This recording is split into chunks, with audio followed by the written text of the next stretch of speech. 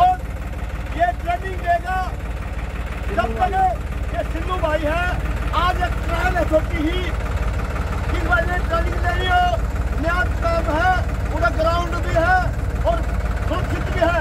क्योंकि सारी बातें लोगों को बताई भी जाग भी, कुछ हमें कॉपी में रखनी पड़ेगी।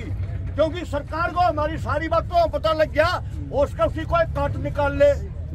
मतलब थोड़ा ट्रायल दिखाएँगे।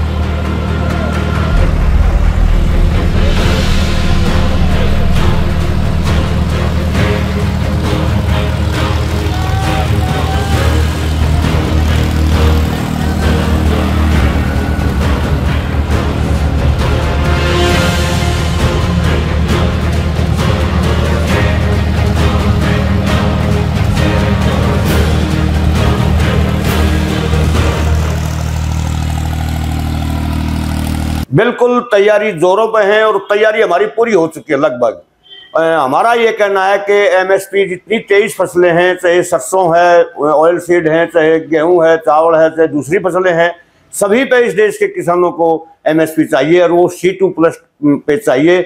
वो क्योंकि इस देश के प्रधानमंत्री ने 2014 में चुनाव से पहले पूरे देश के किसानों से वायदा किया था कि अगर हमारी सरकार आई पहली कलम से, पहली मीटिंग में सी टू प्लस पचास परसेंट का जो फार्मूला है, स्वामीनाथन का उसको हम लागू करेंगे और देश के प्रधानमंत्री ने स्वामीनाथन को भारत रत्न भी दिया है और जो उसकी नीतियाँ थी, वो लागू नहीं की हैं।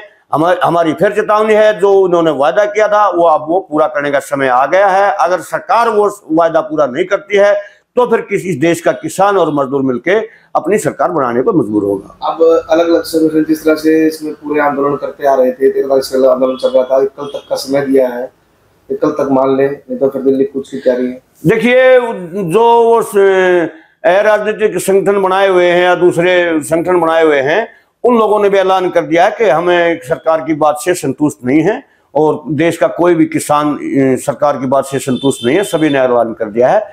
दिल्ली को उसकी तैयारी सभी लोग करें तो कल क्या रहेगा? देखो जो रहेगा वो तो परमात्मा को पता लेकिन दिल्ली कुछ की पूरी तैयारी है सौ परसेंट तैयारी है।